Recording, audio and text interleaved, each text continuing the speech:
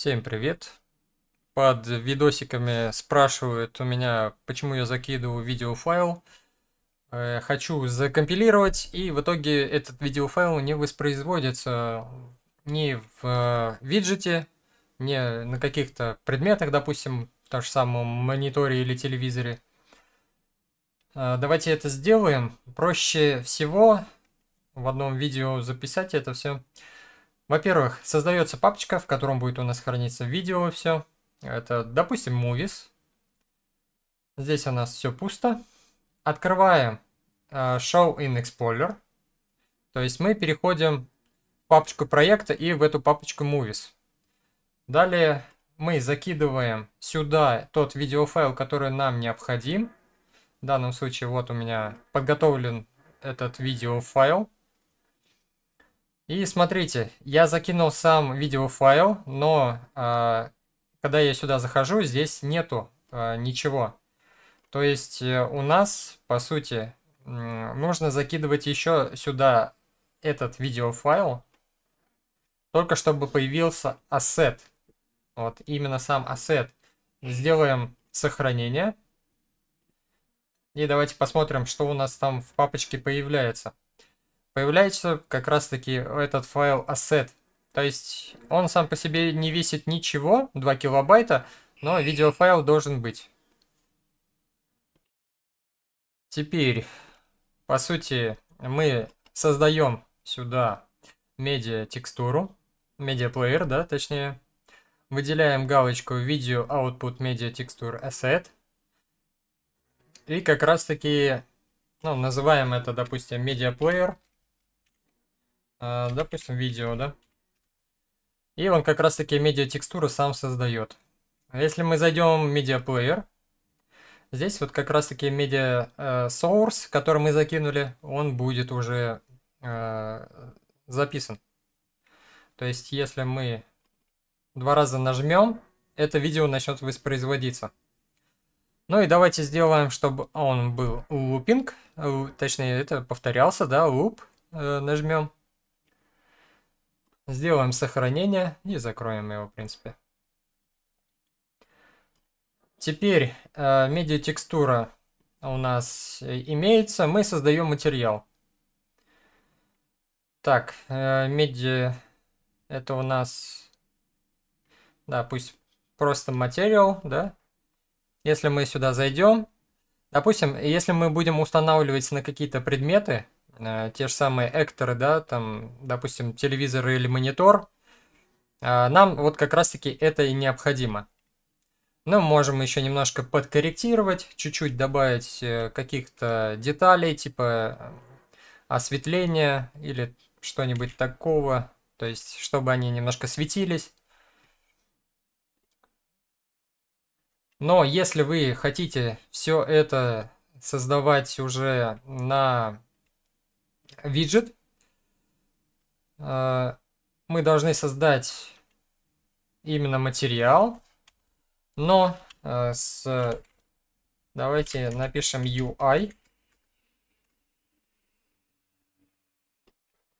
Для этого мы берем, переключаем media, а, материал domain в user interface. Здесь у нас разорвалась связь, мы ее подключаем. И теперь это материал готов для UI, именно для виджета. Это мы можем уже закрыть. Допустим, смотрите, у меня на мониторе здесь есть э, как раз таки... Сейчас давайте выделим монитор и закинем материал уже на сам экран. Вот он стал белым. Но это, с одной стороны, естественно, потому что нам еще необходимо запустить медиаплеер. Здесь у нас уже почти все готово, но единственное, что надо запустить, и ну, это мы сделаем чуть позже. А, сейчас давайте создадим здесь просто виджет, в котором мы расположим как раз-таки запуск этого видео. Так, виджет, давайте сразу накидаем панель, это чтобы мы видели окружность, да, так, так, так скажем, границы. Давайте оверлей куда-нибудь вот сюда закинем. Выставим его по правому краю, чтобы где-нибудь в краю это, э, с краю сверху был. Далее мы кидаем здесь image. Image мы кидаем уже в наш оверлей, расправляем на полную. И выбираем наш материал, который UI мы создали. Вот сюда ставим. Все, материал уже здесь сделан. Единственное, что нам не остается, лишь э, запустить. Переходим в граф. И на, получается, на констракт мы будем создавать. Но для начала нам необходимо создать переменную. Это у нас медиаплеер будет. Player video. Uh, тип переменной это у нас player. Кидаем его сюда, uh, делаем compile и выбираем наш player, который мы создавали. Еще раз compile и делаем open source. Теперь э, здесь media source мы как раз таки выбираем наш media source, который создался после э, player. Теперь все. По сути, мы запускаем. Если вы создаете это не в виджете, допустим, а в каком-то экторе, то вот эту штуку вам надо создавать то же самое, да, из переменной и вот это э, в самом экторе. Если я запущу из виджета, то у нас будет и в экторе воспроизводиться это, и в виджете, где находится этот материал с этой текстурой.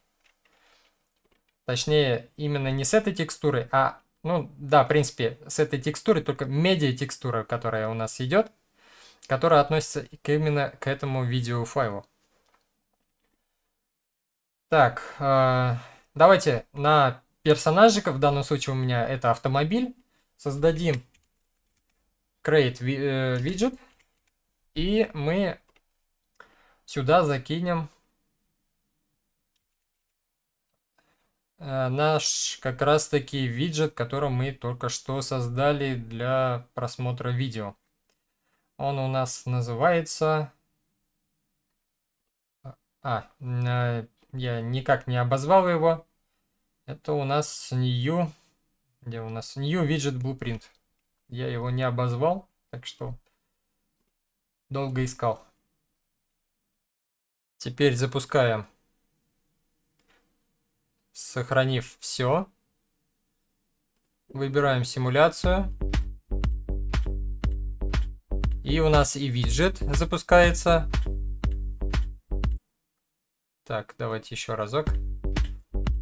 А, и виджет запускается, и как раз таки на Экторе у нас тоже видео запускается. Все одновременно происходит из-за того, что у нас выбрана одна и та же медиатекстура, но разные материалы просто. А, так как мы запускаем именно медиатекстуру, media source, а, как раз таки везде материалы будут воспроизводиться одновременно. Теперь делаем компиляцию.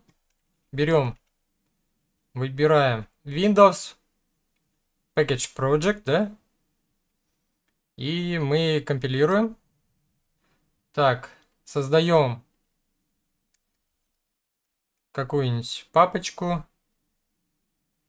В данном случае build у меня будет папочка. Делаем компиляцию и посмотрим, что уже выйдет на выходе.